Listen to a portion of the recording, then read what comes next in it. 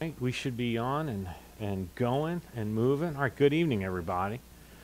Now, here's the deal. We're not, since we're not having the study next week, it's up to you whether or not you're going to tell the other guys. Okay? All right, the guys who couldn't be here tonight? You know what? If, if they show up, they show up. Okay, so, okay, open in your Bibles, if you would please, to Psalm chapter 19. So, Psalm 19. We'll start there tonight. Now we're we're a couple of weeks in now, right? So this is when we start getting a little mentally tired, right? That's why I'm glad that it's uh, it's only a few weeks, and we get to digest this stuff slowly over the summer, and then get back to it. We'll start in Psalm 19, verse 1. I want to make sure that we continue to point one another to the Word of God as our source and as our authority. Okay, so Psalm 19, starting in verse 1, it says this The heavens are telling of the glory of God, and their expanse is declaring the work of his hands. Day to day pours forth speech, and night to night reveals knowledge. There is no speech, nor are there words, their voice is not heard. Their line has gone out through all the earth and their utterances to the end of the world. In them he has placed a tent for the sun, which is as a bridegroom coming out of his chamber. It rejoices as a strong man to run his course. Its rising is from one end of the heavens, and its circuit to the other end of them, and there is nothing hidden from its heat. So, what on earth is David talking about here? David is talking about the fact that something is shouting that God exists and it's not saying anything. Okay? So, what David is saying is that his primary reassurance that God indeed exists is not that he heard the voice of God, which he, he did in the sense that he was a prophet. It's not those kind of things, but there's something else that's screaming that God exists. And it's not using words. Now, gentlemen, right, don't we all know that it is very easy to communicate things without saying words? If you do, do not believe me, go home and ask your wives, right? Because a lot of times they're telling us a lot, even when, maybe especially when, they're not telling us words, right? So, what is David talking about here? He says this The heavens are telling of the glory of God, and their expanse is declaring the work of his hands. What he's telling us here is that the very existence of the earth demands somebody who designed it, somebody who created it. It is an argument for intelligent design. Okay? David is telling us that he believes in God because, or at least it's reinforced by the fact that he looks out into a sky full of stars and it's telling him so much about God. Okay? Now, notice what he goes on to say day to day pours forth speech, and night to night reveals knowledge. But then in verse 3 it says, There's no speech and there's no words, their voice is not heard tonight we're going to begin to talk about what's called theology proper. And what theology proper is, is simply the study of God. Okay? Now, where do we get this word from? I'll show you. Okay? So, theology proper is not theology with a cup of tea in your hand and your pinky out like this. Okay? That might be proper theology, but that's not theology proper, okay?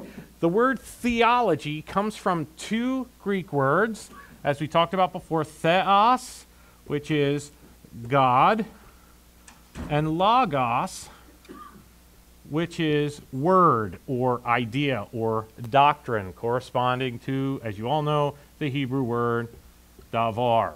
Okay? Now I say that as a joke. I had a, a, a professor in seminary, and we were first year Hebrew students, and he would say, All right, what is this word? And we would say it, and he goes, And that exists in what verse of the Bible?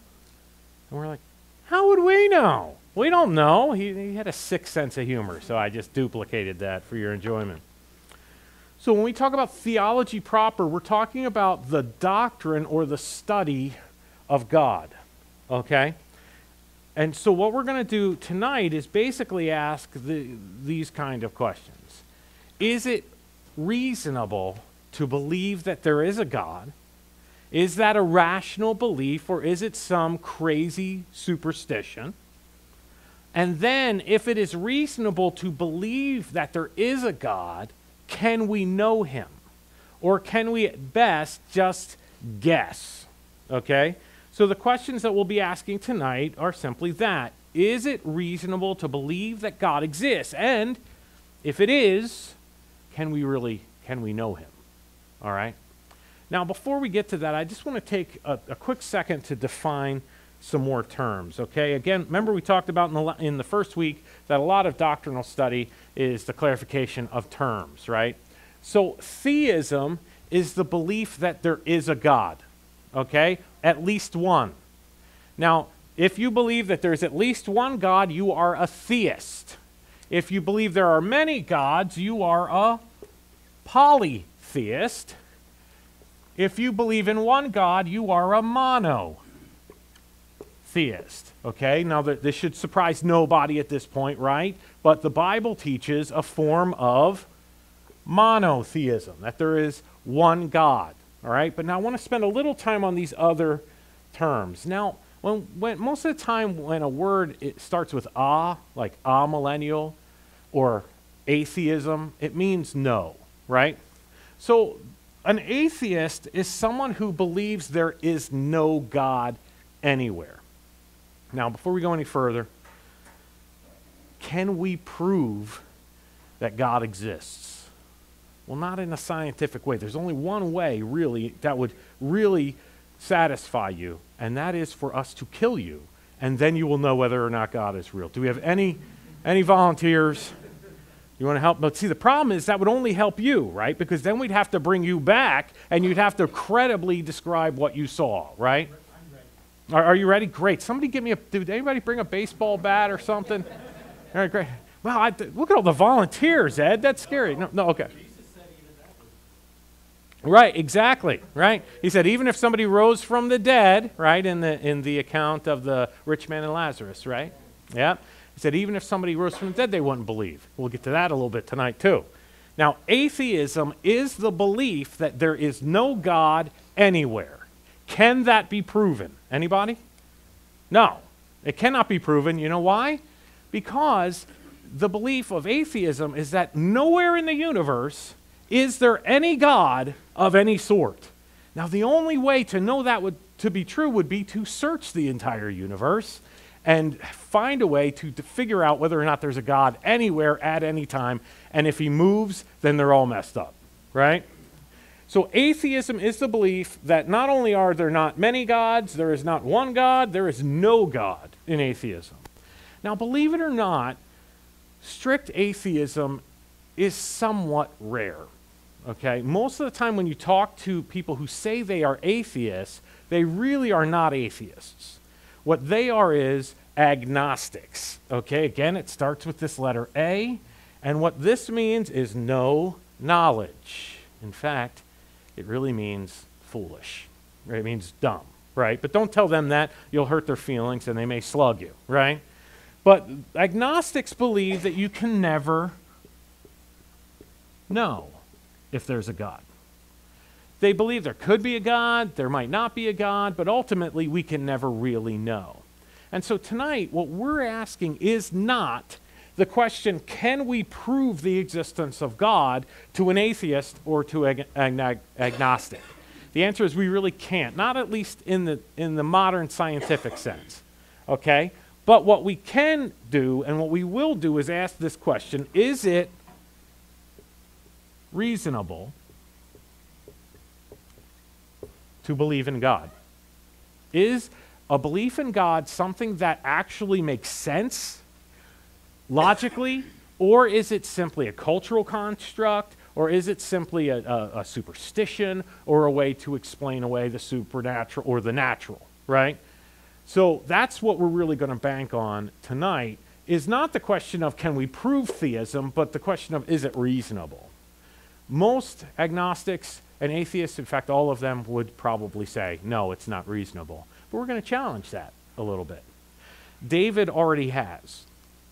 David is basically saying this As I look up into the sky and I see the stars, I see the planets, I see all these things, he's saying it is unreasonable to suggest that those things created themselves and that those things organized themselves. Which reminds me of a famous quote, and I can't remember definitively who said it. It might even be in the notes, but we'll pretend it's not. Um, the quote goes like this I believe in God like I believe the sun rose this morning. Not because I saw it, but because by it I see everything else. Right? Now, again, that's not going to convince someone who doesn't think it's reasonable to believe in God, but our belief in God does not really stem from scientific inquiry. It stems from a philosophical understanding that everything must be created.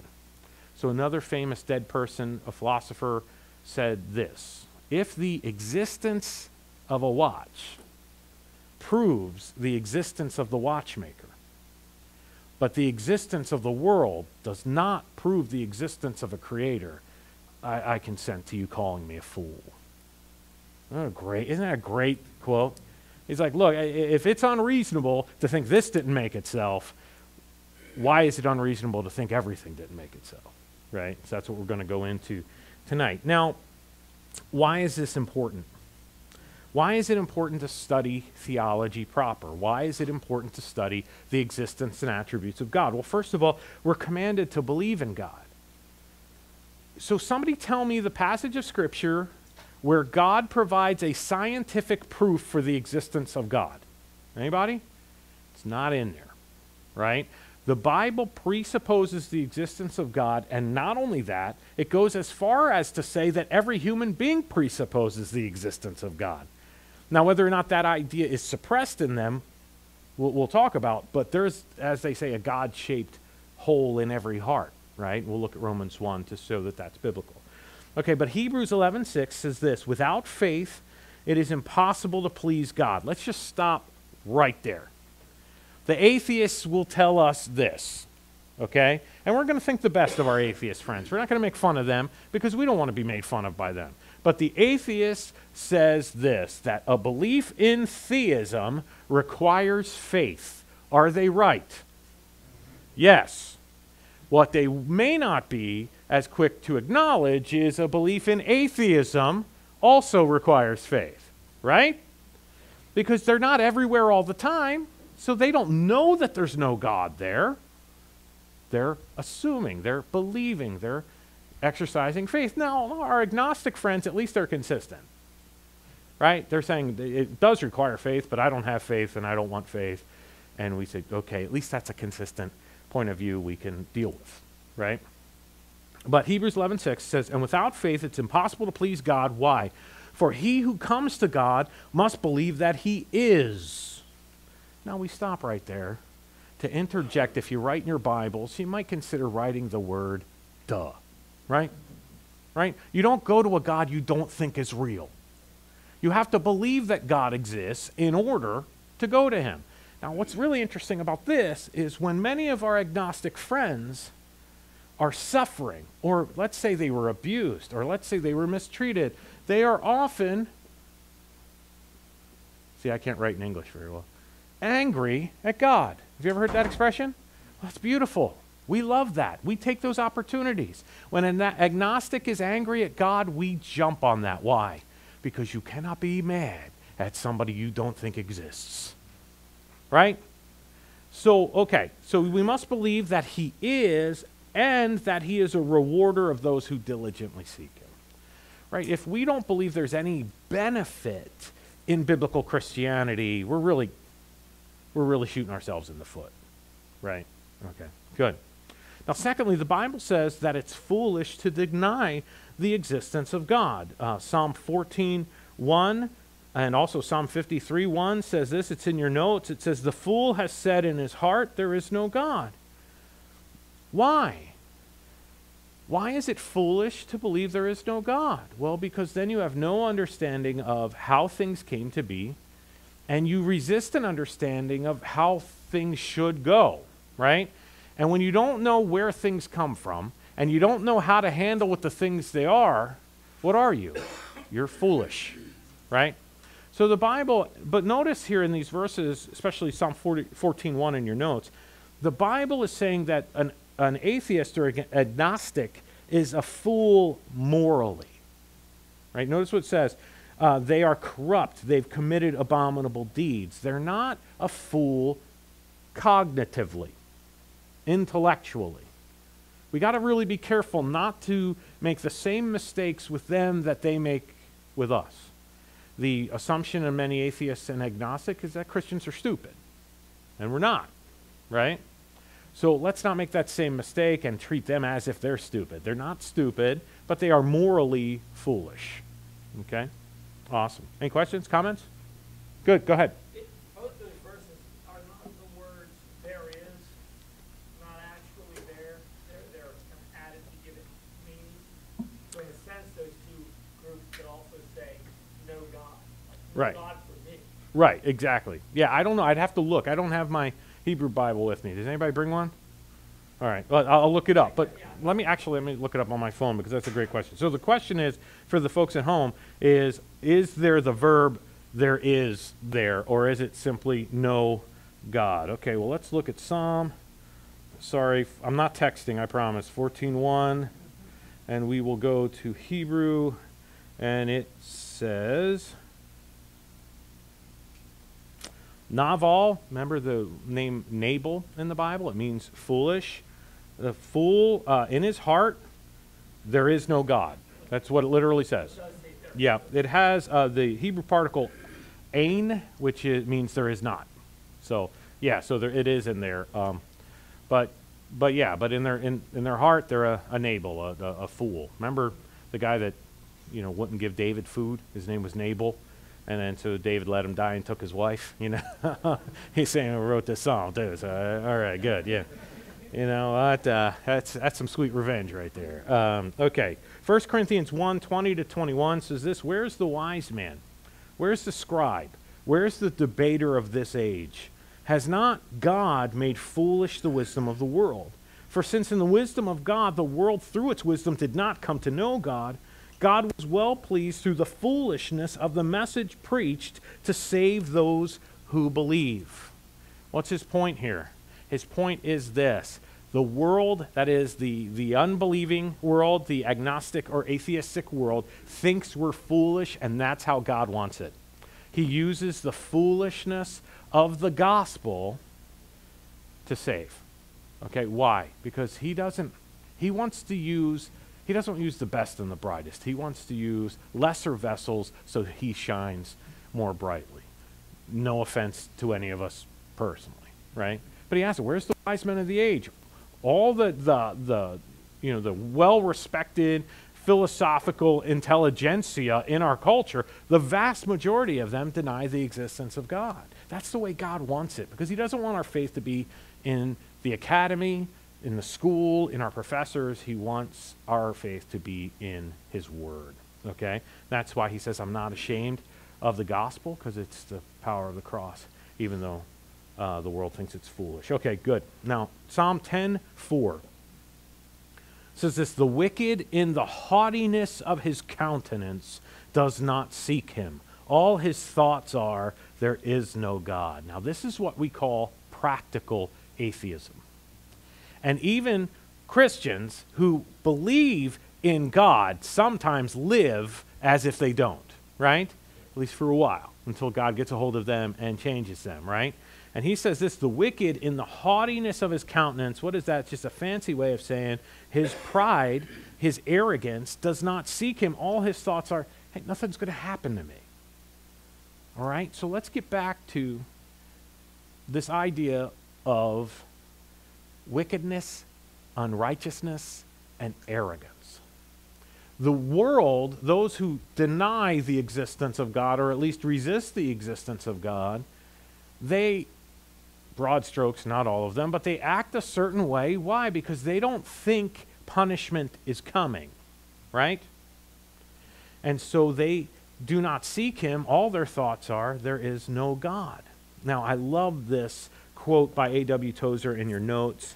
I'm going to uh, really, really implore you to buy a book. Uh, in fact, we'll do the. Uh, well, we'll do the show and tell later, but it's called The Knowledge of the Holy by A.W. Tozer. It is a absolute classic. It will keep you up at night, maybe not, but it is very, very great book. Okay, it says this We tend by a secret law of the soul to move toward our mental image of God. What does this mean? This means what we believe dictates our attitudes and our actions, right? How many of you grew up, uh, just, just, I could tell by the eyes, we don't need stories yet, we'll talk about it later, but how, how many of you grew up with parents who never disciplined you once? Right?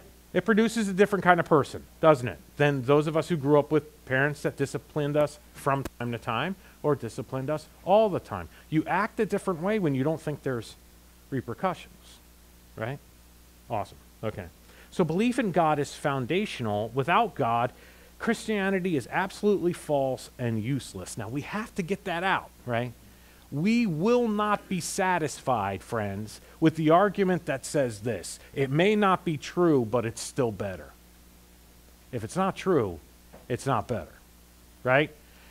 As, as Paul would argue in 1 Corinthians 15 with regard to the resurrection, right?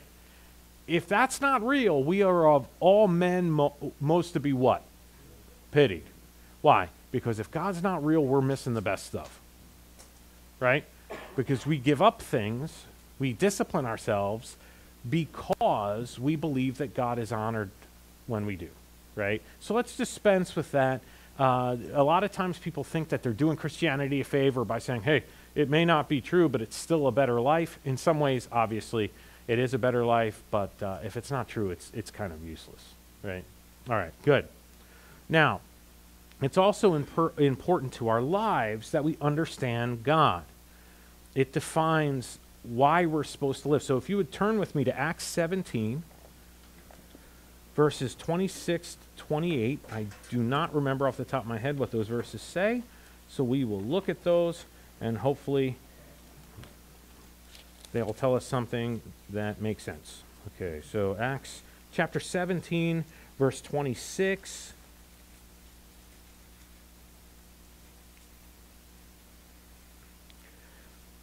Okay, yes, this is good. Um, I put these notes together so long ago that sometimes if, if the reference is wrong, I'm just going to be embarrassed in front of you guys. That's fine, right? You know, we're men. We can handle it, right?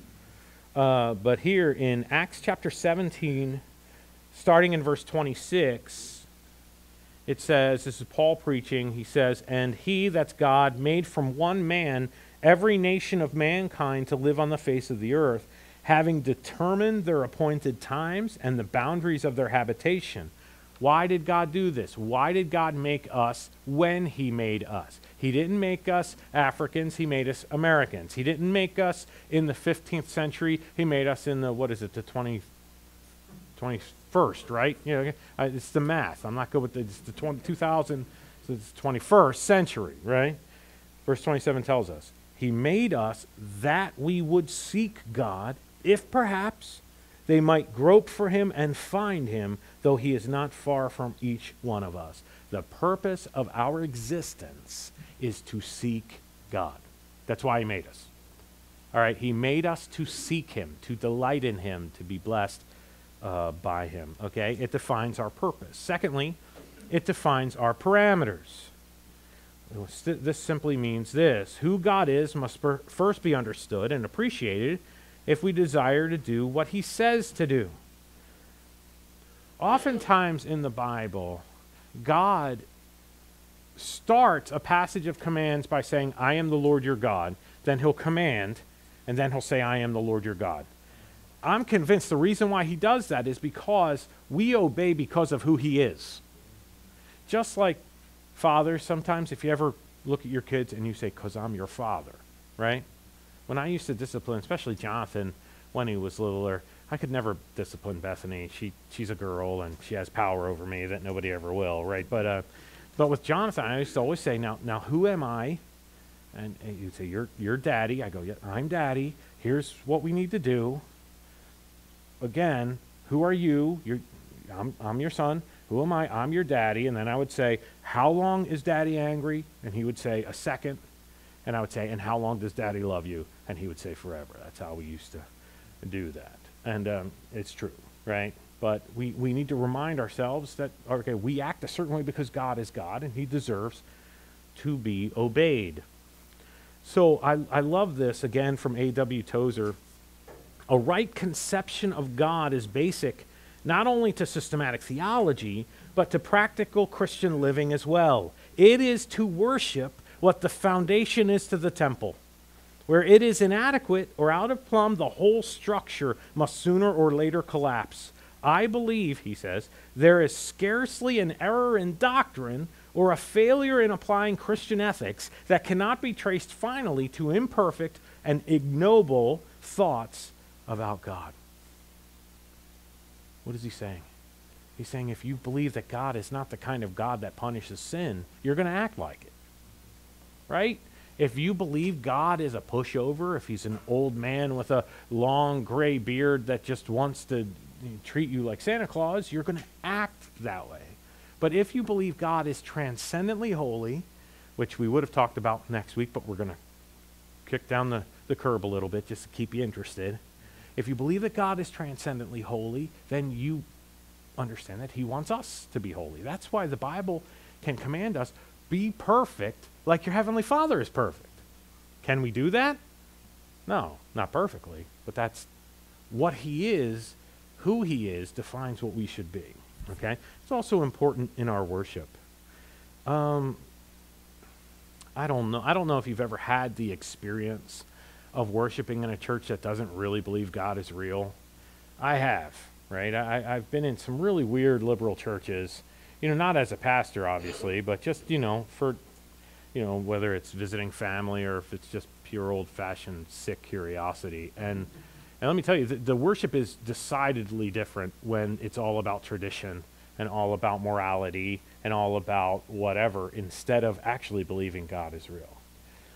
To the point of Amazing grace, how sweet the sound that saved a what? Wretch like me. You know, some churches change that. Mean, that saved a man like me. Right? They, they don't want to believe they're wretches. Well, if you believe God is who he says he is, you automatically believe you're kind of wretched. It's the way it goes. But if you believe that God is simply one of us, just maybe a little bit bigger or a little bit older or a little bit stronger, well, your life is going to uh, reflect that, and your worship is. So in Exodus 15:1 it says, "Then Moses and the sons of Israel sang this song to the Lord and said, I will sing to the Lord, for he is highly exalted. The horse and its rider he has hurled into the sea." Psalm 106:12, "Then they believed his words and they sang his praise."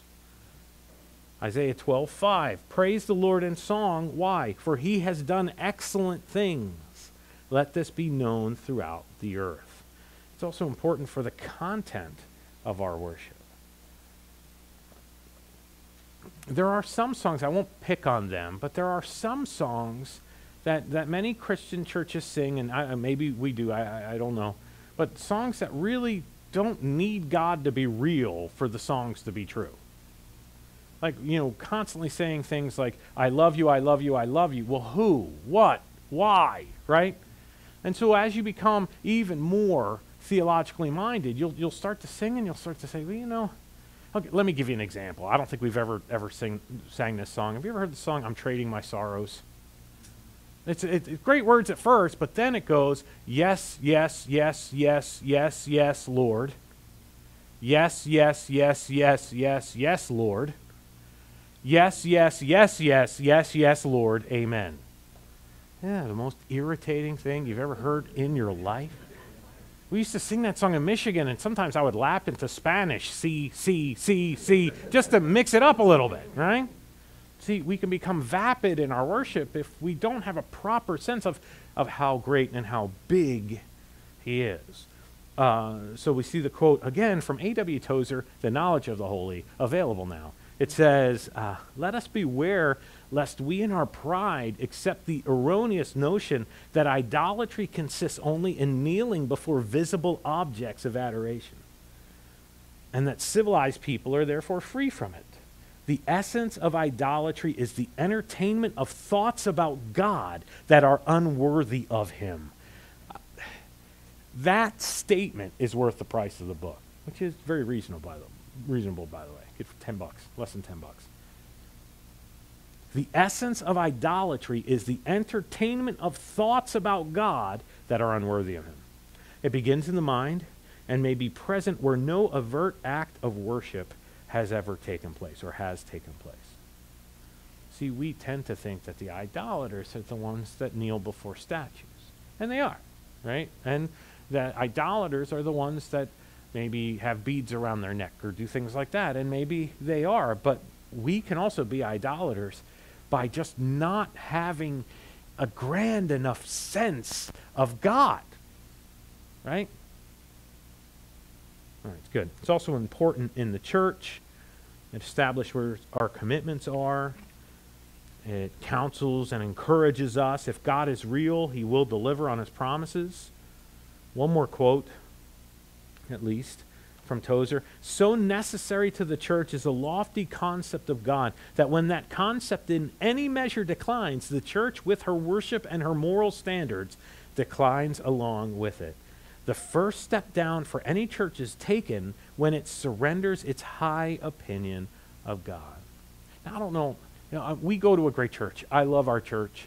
Uh, we love each other, okay? And I don't want to make other churches always the bad guy. But have you ever honestly just asked yourself the question why on earth are churches doing these things? Things like, you know, like swirly slides into the baptistry. Like, that's a thing. Like, churches have that. You slide down the slide into the baptistry. Why are they doing that? Well, they're not doing that because they wake up one day and they go, you know what, we're going to blaspheme today. No, they just wake up one day and God just doesn't seem that deep to them. Right? And so, why, why are so many churches just doing bizarre things? I, I know of a church, I, I won't tell you uh, where it is, but it's in the state of Missouri. And uh, I, I know a church that had a free, uh, it was, their preaching series was on, it was called like God in the Movies, which sounds really interesting to me. I like movies, I like God. But it turned out they were just watching movies. And if you got there the first time, if you're a first time visitor, you got two free movie tickets. And, and if you got there on time, you got buckets of popcorn. But they're, they're not watching Christian movies, they're just watching like regular movies. And it never really got around. The guy would come out and say, What do you think? Find God in that movie. Well, they don't do that because they want to dishonor God at first. They do that just because they think if we just talked about Him, nobody'd show up. So I think, okay, I'm preaching now, right? But that's what I do. You'll forgive me, right? Okay. Our mission is not only to convince the world that God is real, our mission is to convince the world that God is compelling, that He's enough. Right? Good. So, is it then reasonable to believe that there's a God? Well, non evangelical approaches, we already talked about this a little bit. Atheism is the, the idea that there is no God, agnosticism is the idea that it's impossible to know that if there is a God, and one that I didn't bring up because it's probably the one we interact with the least is what's called pantheism. All right, pantheism is the idea that everything's God, like everything's divine. And we see this like in, in philosophies and stuff where, you know, a lot of like crystals and a lot of, you know, like new age ideas that are probably not in the forefront of most of our experience. But they, I remember in college, I wrote a, a paper. I was in a secular college before I went to seminary, and, and it was about God. And I found out that the professor was a pantheist. And so she wrote on my paper, she gave me a good grade, so, but she wrote on the paper, I, I believe in God, but I just believe that everything is God. Well, if everything's God, then nothing's God, right? So, you know what I mean? So, we'll, we'll do with that. We won't spend much time with that. So, is it reasonable to believe that there is a God? Answer yes. Right? Here's why the argument from cause and effect. Now, again, we're, we're not proving the existence of God. We're asking, is it reasonable? Well, here's the thing every effect has a cause, right? Right? So if you walk into your living room and your couch is on fire and your kid's standing next to it with matches in his hand, right? And you say to him, Why is the couch on fire? And they go, It's a miracle. I have no idea, right? We know that's, that's unreasonable. Things don't just burst into flames, all right? There's, for every effect, there's a cause. Now, the problem is, if we keep going back and keep going back, eventually we have to come to a position of the first cause. Okay?